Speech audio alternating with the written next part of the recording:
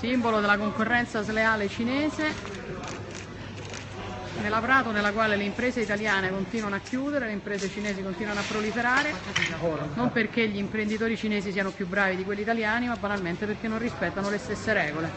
Abbiamo chiesto alle persone che abbiamo trovato qui se ci possono dire quante persone lavorano qui e non ci hanno voluto rispondere perché pare che sia una domanda troppo imbarazzante che noi non, dicono che noi non possiamo stare qui. Ecco. Questa è la situazione. Io non ho dato permesso di entrare, perché volete entrare di qua? E perché non possiamo entrare? Mica stiamo a fare niente di male, eh? Se non avete niente Stiamo guardando, qual è il problema? Se è tutto regolare, che Qual è il problema? Se non c'è niente da Se entro in una qualunque fabbrica italiana mica mi rompono le scatole, eh? Perché no? Qual è il problema? Che cosa?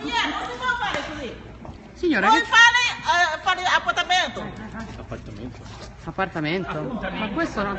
Un appuntamento, sì, le chiederemo il permesso la prossima volta. Sono tre anni che ho chiesto a Nardello di fare questi cose quando c'è stato per Ti aspettiamo ancora, guarda. Allora siamo a via Antonio Canova, sindaco Nardella.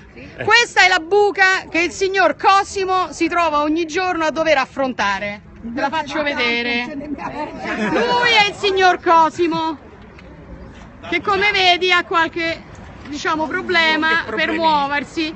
Dice che avete messo da otto mesi un cartello con scritto pericolo, ma non avete fatto niente per risolvere il problema dei marciapiedi.